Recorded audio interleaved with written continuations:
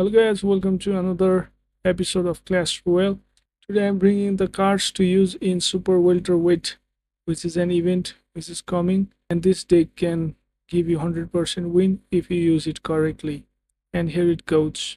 I've used like Super Knight, Super Pe Mini P.E.K.K.A, which is like default card, and we've got bats, freeze, skeletons, ice wizard, Valkyrie, and guards. So let's start our match.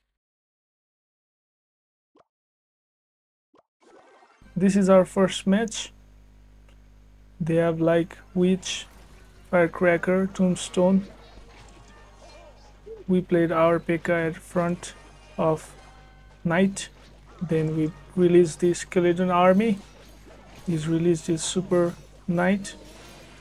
After the knight tosses the enemy, his effect will disappear. Then we can take the advantage here. The knight is giving superpowers to my troops.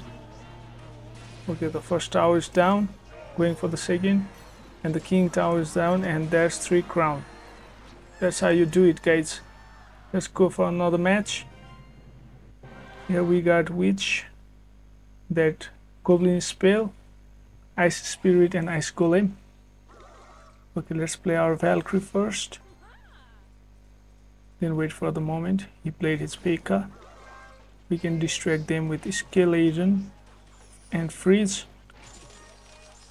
He released his Knight, but he could not save his mini P.E.K.K.A. And the Valkyrie is supported by the Knight here. Doing good counter attack. Yeah, again the knight is protecting our troops. P.E.K.K.A going in front. Knight is blocking the attacks here. Okay, even though it's freezing it won't work. The first tower is down, going for the king tower. Mini P.E.K.K.A is healing himself, and the third crown is down. That's how you get second win. And let's look at the last match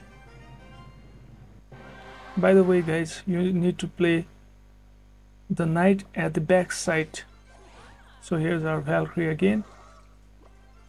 So many of the players are using witch here goes our main P.E.K.K.A knight is saving the P.E.K.K.A and Valkyrie. No attack is like affecting them. Okay. We can use freeze there the attack from the dragon is useless.